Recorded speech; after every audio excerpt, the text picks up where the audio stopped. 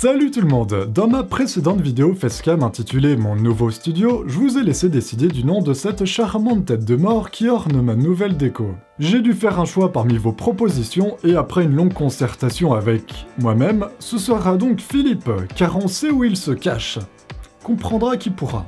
Bref, trêve de plaisanterie, dans cette même vidéo j'avais parlé des erreurs que j'avais pu faire par le passé en tant que youtubeur. Après coup, je me suis dit que ce serait pas mal d'introduire cette reprise des documentaires sur ma chaîne par deux vidéos centrées sur le comportement de l'humain face à ses erreurs. C'est un sujet qui a été régulièrement traité par les auteurs, blogueurs et vidéastes rationalistes, des personnes qui étudient entre autres ce qu'on appelle la zététique, définie comme l'art du doute par le biophysicien français Henri Broche. N'étant pas un spécialiste de ce domaine, ni d'aucun autre, d'ailleurs, je voudrais donc remercier Christophe de la chaîne Hygiène Mentale et Thomas de la Tronche en Biais pour avoir bien voulu relire mon script avant ce tournage.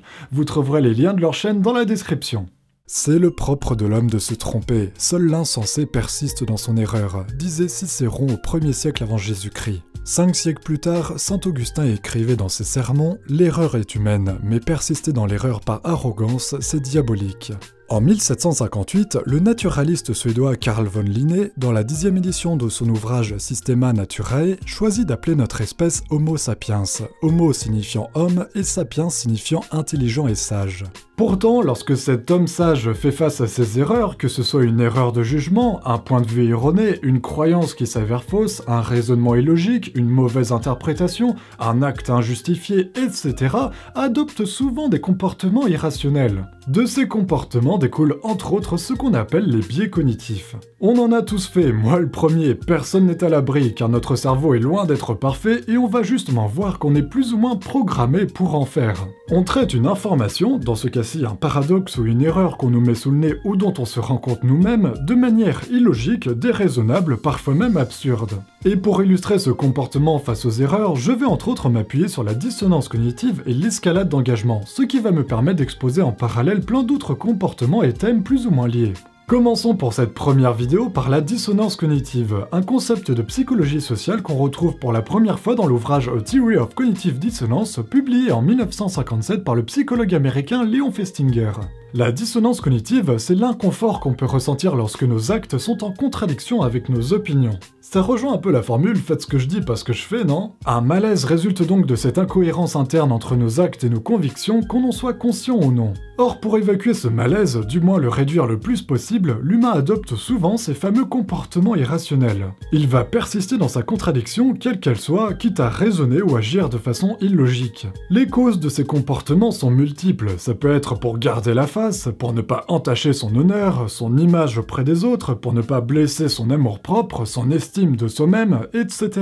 Depuis toujours, dans les sociétés en compétition, les individus ne veulent pas subir l'humiliation d'admettre qu'ils se sont trompés, quand bien même lorsqu'on leur démontre par A plus B qu'ils ont eu tort, ou lorsqu'ils s'en rendent compte eux-mêmes. Pour beaucoup, admettre un tort est perçu comme un aveu de faiblesse, de la même manière que certains préfèrent s'inventer des connaissances plutôt qu'avouer qu'ils ne savent pas telle ou telle chose. Les preuves de leur erreur ou de leur contradiction peuvent très bien s'accumuler encore et encore, cette peur de l'humiliation restera pour beaucoup toujours plus forte, d'autant plus s'ils ont défendu avec force leur des choses. Et je ne vous parle même pas lorsque c'est une idée qu'on vous a implantée dans la tête depuis que vous êtes tout petit, qui a forgé votre personnalité et vous a incité à faire certains choix. Là, c'est tout votre mode de vie qui est remis en question.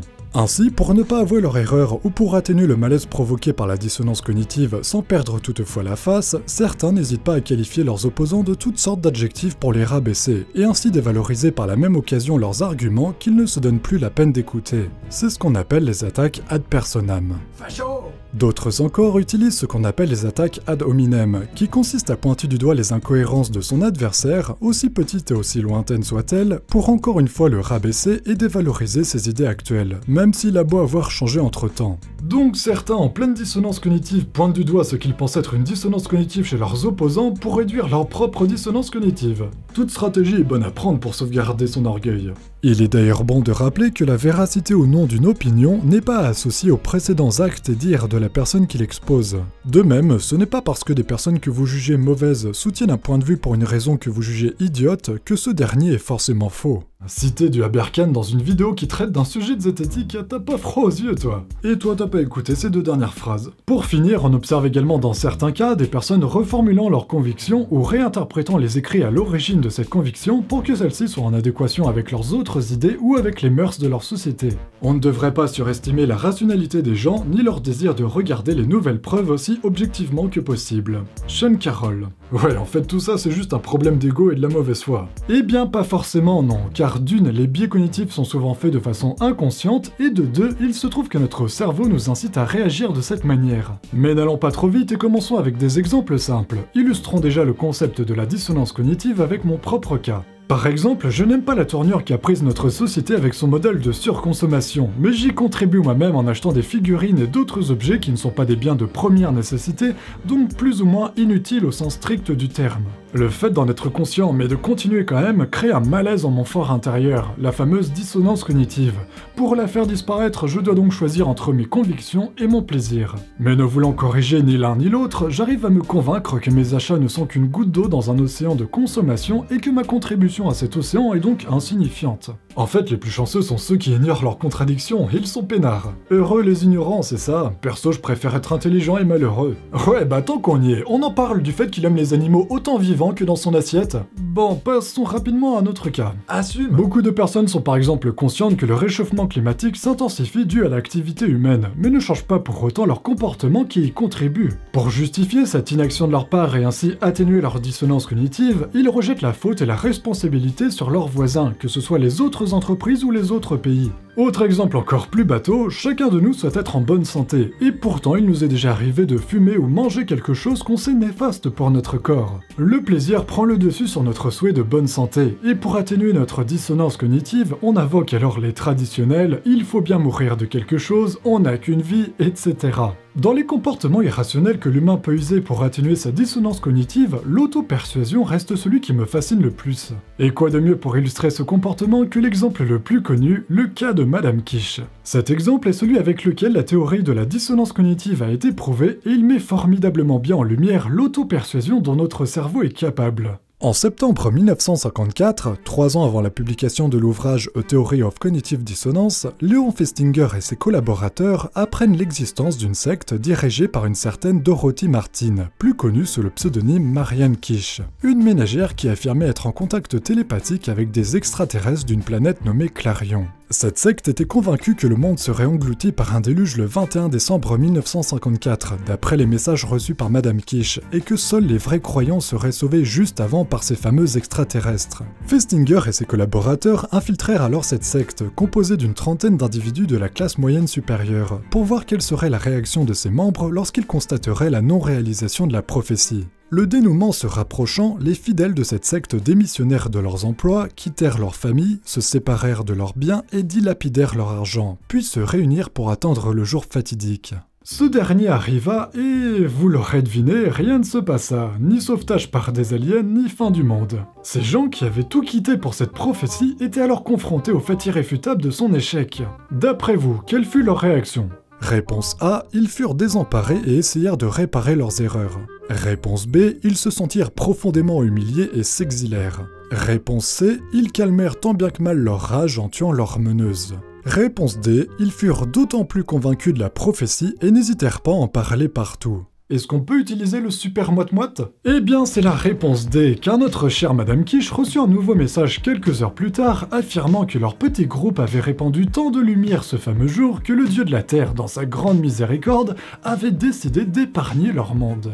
C'est leur croyance inébranlable qui avait permis au monde d'éviter le cataclysme, et ce dieu touché par leur foi leur demandait à présent d'annoncer la bonne nouvelle au monde. Prêts à tout accepter pour ne pas avoir à subir un désemparement total, les membres ne furent pas difficiles à convaincre en s'auto-persuadant de la véracité des propos de Madame Quiche, elle-même convaincue de son imagination. Ils redoublèrent de ferveur dans leur foi et décidèrent de diffuser leurs témoignages au plus grand nombre, notamment à travers la presse. Mais n'empêche, imagine un instant qu'elles disent vrai, ce voudrait dire qu'on se moque d'eux depuis des dizaines d'années alors qu'ils nous ont tous sauvés. On aurait l'air con. Ouais, enfin... Ah bah s'il faut douter de tout en zététique, on peut aussi douter de ça. Ok, Descartes. On peut également citer les affaires judiciaires dans lesquelles les mensonges de certaines personnes avaient pris tellement d'ampleur qu'elles ne pouvaient plus admettre la vérité sous peine d'en subir de graves conséquences. Je pense notamment à certaines fausses accusations qui ont conduit des innocents en prison et y rester pendant des dizaines d'années, pour qu'après coup la fausse victime admette que son histoire était inventée mais qu'elle ne se voyait pas revenir en arrière vu les proportions que cela avait pris. Les dénonciations inventées de la fausse victime entraient en contradiction avec sa morale, mais la peur des conséquences était plus forte que son désir d'avoir bonne conscience.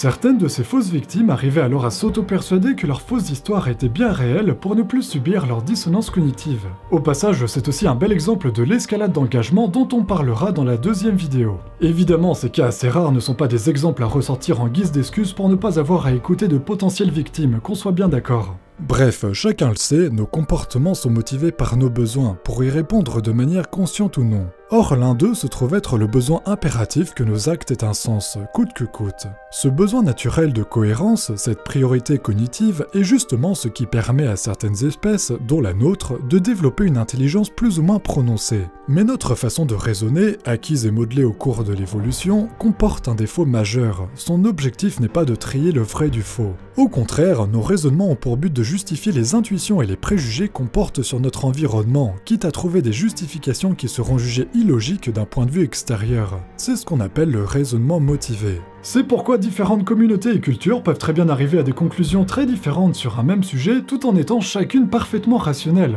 Suivant les normes en vigueur, par exemple, quelque chose considéré comme logique dans un pays sera considéré illogique dans un autre. La logique est-elle universelle ou n'est-elle que le propre de l'homme? Les mathématiques ne sont-ils qu'une invention humaine?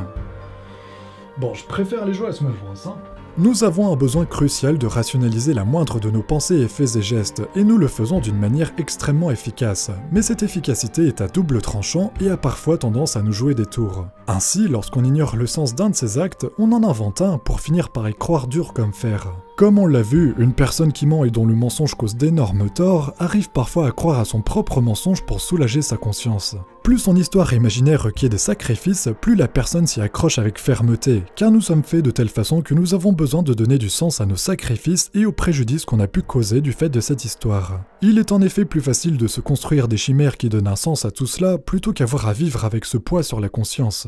Une expérience réalisée au début des années 1960 par le neuropsychologue américain Michael Gazaniga a justement mis en lumière ce besoin de tout rationaliser.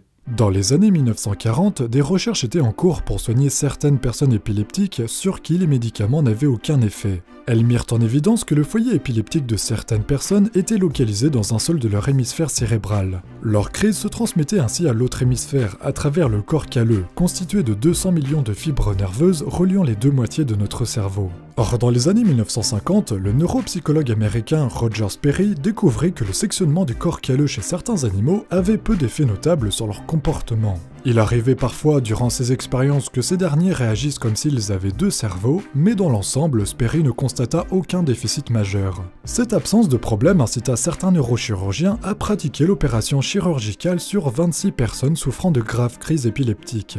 Les opérations furent un succès, la section du corps calleux chez ces patients permit de stopper la propagation de la crise et ainsi de la réduire considérablement. Hormis quelques petits comportements inhabituels, aucune séquelle ne fut constatée à première vue, et ces personnes purent retrouver une vie normale. Arrive alors notre jeune Gazaniga qui rejoint l'équipe de Sperry et décide au début des années 60 de tester les capacités cognitives de ces individus au cerveau divisé pour découvrir les différences fonctionnelles entre les deux hémisphères. De leurs expériences découlèrent plusieurs constats très intéressants, mais celui qui nous intéresse résulte de l'expérience suivante. Avant toute chose, retenez que chaque hémisphère de notre cerveau commande la partie du corps opposé, et que l'air du langage se situe dans notre hémisphère gauche. C'est aussi là où est logé notre raisonnement. Bref, les neuropsychologues demandent donc à l'une de ces personnes de regarder un écran en fixant un point noir situé au centre. Si le sujet commence à regarder ailleurs, l'écran s'étend aussitôt, du fait d'un capteur enregistrant le mouvement de ses yeux. Deux images différentes apparaissent, une scène d'hiver à gauche et une patte de coq à droite.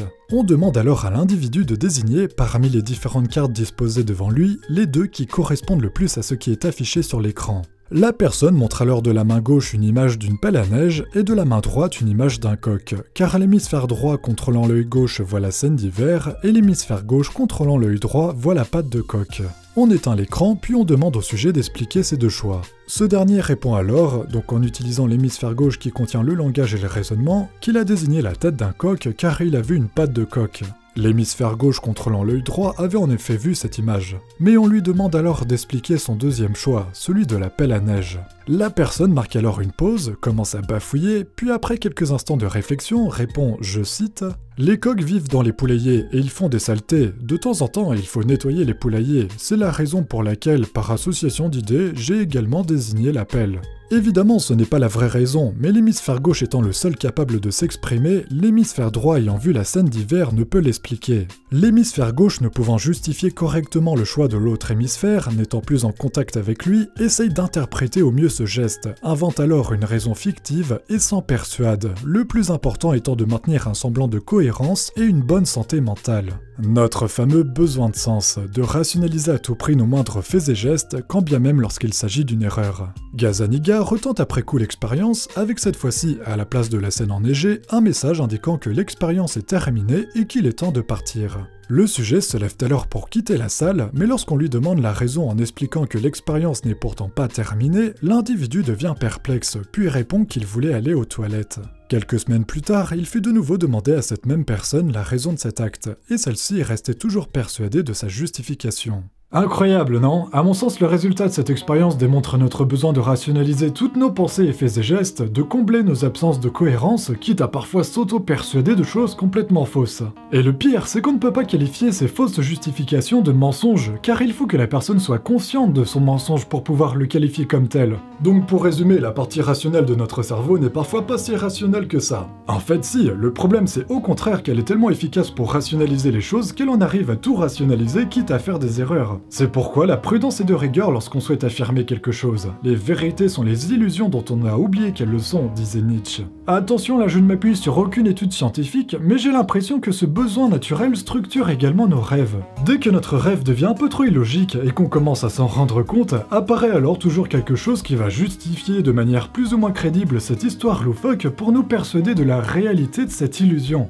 Bref, que conclure de tout ça? Que notre cerveau est loin d'être parfait en plus d'être un menteur. Ça dépend si tu vois ça comme un mécanisme de défense ou non. En effet, ce besoin de cohérence peut certes nous jouer des tours, mais il a permis, et il permet encore à notre espèce, de construire des pensées bien structurées et d'avoir une vision cohérente du monde. C'est en partie cette fâcheuse tendance à tout rationaliser qui nous a permis de survivre dans la nature et de se démarquer des autres espèces. Le problème avec la dissonance cognitive, c'est que, comme vous avez pu le constater, on a tendance à se cacher à soi-même nos contradictions, ce qui rend d'autant plus difficile la tâche lorsqu'on souhaite lutter contre. Je pense que le meilleur moyen de combattre nos contradictions et nos erreurs se trouve dans la diversité des rencontres et des lectures. Lorsque je parle de rencontres, je parle autant dans la vraie vie que le fait de s'ouvrir aux autres sur les réseaux sociaux où chacun y va de son avis, tout le monde en a un sur tout et n'importe quoi. Dixit le mec qui bloque des gens sur Twitter. Le monde est un PMU où n'importe qui donne son mauvais point de vue. Au niveau des lectures, rien de mieux que de lire des livres ou des articles qui exposent une vision du monde différente de la nôtre. Malheureusement aujourd'hui, du fait des algorithmes chapeautant nos réseaux sociaux et ne nous proposant que des choses en lien avec nos centres d'intérêt et nos opinions, on se retrouve vite coincé dans une sorte de bulle qui nous empêche d'ouvrir notre esprit à d'autres visions du monde. Cette bulle ne regroupant que des articles et des personnes qui sont du même avec nous ne fait que nous conforter dans nos idées, nos croyances et nos opinions qui peuvent pourtant très bien être totalement erronées. Or, il se trouve que notre biais cognitif le plus courant est le biais de confirmation, un biais étroitement lié au raisonnement motivé. Il résulte de notre propension à préserver nos opinions plutôt que d'avoir à les modifier et contribue donc à renforcer cette fameuse bulle. On donne plus de valeur aux preuves qui confirment notre vision du monde tout en évitant au possible les informations et les personnes qui seraient susceptibles de la contredire. Je vois par exemple de plus en plus de personnes choisir leurs amis en fonction de leur idéologie. Je trouve ce comportement sectaire vraiment problématique, d'autant qu'il réduit considérablement le champ de pensée. Personnellement, j'ai des amis de tous bords, aussi bien dans les extrêmes opposés, et ça ne nous empêche pas de s'apprécier et de dialoguer dans la bonne humeur. Ce n'est pas non plus pour ça que j'adhère à leurs idées pour autant, au contraire, ça me permet de développer mon esprit critique et de comprendre ce qui les pousse à penser telle ou telle chose. C'est pourquoi les dénonciations comme un tel est ami avec un tel alors c'est forcément un salaud ont tendance à m'exaspérer. L'ami de mon ennemi est mon ennemi, ils vont pas chercher plus loin. Et puis définir une personne uniquement par son idéologie, c'est vraiment de la fainéantise intellectuelle, ou de la mauvaise foi. Bref, on s'accroche tellement aux informations qui vont dans notre sens que cela peut engendrer un deuxième biais cognitif, celui de l'effet retour de flamme. Le fait d'apporter des preuves concrètes à certaines personnes victimes de ce biais les conforte d'autant plus dans leurs croyances initiales. C'est un effet qu'on constate beaucoup chez certains complotistes par exemple, je parle là de ceux qui partent dans les extrêmes, le doute est toujours permis. Le philosophe allemand Novalis disait « Ma conviction gagne infiniment en force dès qu'une seconde personne l'a adoptée ». Alors je vous laisse imaginer l'effet que ça peut donner quand tous les articles et les statuts qui arrivent sur notre fil d'actualité nous confortent dans nos idées. Notre conviction en devient plus renforcée, et elle le devient d'autant plus lorsqu'on arrive à augmenter le nombre de ceux qui adhèrent à notre idéologie. Ce mécanisme est très présent avec les sectes par exemple. La conversion de nouveaux adeptes permet aux membres de confirmer la valeur de leur conviction. Bref, en plus de vous inviter à percer cette bulle, je vous invite également à vous poser à chaque fois la question en quoi cette opinion, cette croyance, cette idée m'arrange-t-elle? Cette question permet notamment de lutter contre un autre biais cognitif, le biais de l'intérêt, qui nous pousse à croire davantage en des choses qui nous arrangent, qui nous rassurent, qui nous flattent, etc. J'ai bien quelques exemples en tête, mais ça risque de nous retomber dessus si je l'ai dit. Laisse les gens trouver par eux-mêmes, c'est pas bien dur. Sans rentrer dans les exemples polémiques, on peut au moins en citer un très courant. On a tendance à accuser les circonstances extérieures et la malchance lorsqu'on fait face à un échec. En revanche, on ne se privera pas d'attribuer une quelconque réussite à nos mérites. Bref, on rechigne à modifier nos opinions, on se braque et on développe alors des biais cognitifs tout en manipulant les données qui nous arrivent pour qu'elles s'accordent avec notre vision du monde. Les points de vue que nous choisissons d'adopter sont ainsi davantage façonnés par les opinions que nous avons déjà que par leur rapport avec la réalité. L'abduction bayésienne, y a que ça de vrai. À tes souhaits. Personnellement, je ne pense pas que nous soyons capables d'être irréprochables, il y aura toujours un biais ou deux qui se glissera du fait des mécanismes présents dans notre cerveau. Trois siècles avant notre ère, les philosophes grecs l'avaient déjà bien compris. Pyrrhon et Socrate avaient ainsi fait vœu de ne pas écrire pour ne pas figer dans le marbre des réflexions qui pouvaient très bien être erronées. En revanche, nous sommes des êtres perfectibles, et c'est un objectif que chacun d'entre nous peut se fixer, en essayant ainsi de limiter au mieux nos biais. Personne n'est omniscient, et chacun de nous a déjà commis des erreurs et en fera beaucoup d'autres, moi le premier, mais le tout est d'admettre ses erreurs et ses contradictions, de ne pas les négliger et d'en retirer des leçons. Il faut presque voir ça comme une occasion à saisir pour s'améliorer. On connaît d'ailleurs tous la phrase « on apprend plus de ses échecs que de ses réussites ». L'explorateur américain John Powell disait plus joliment « la seule véritable erreur est celle dont on ne retire aucun enseignement. Réaliser son erreur est souvent pénible, la reconnaître l'est encore plus. Mais on l'a vu, notre entêtement n'amène parfois que davantage d'erreurs, et ces dernières deviennent moins excusables que celles à l'origine.